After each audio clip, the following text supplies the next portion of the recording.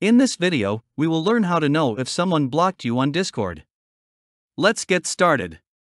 Here I am on my Discord profile. If you don't have an account, first go to the Discord website and sign up with a Google account. First, go over here and click on Profile. Here you can see my profile name and username as well. I will use this username to know if someone blocks me.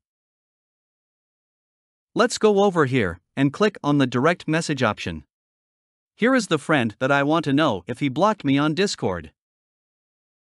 Click over Friends and then click over Add Friend. Add Friend bar is already open. Here enter your profile username and click on Send Friend Request. You can a notification in a pop-up that says friend request failed. This is how you can check if someone blocked you on Discord. I hope you learned something from this video. If you have any question, don't hesitate to comment down below. And thank you for watching.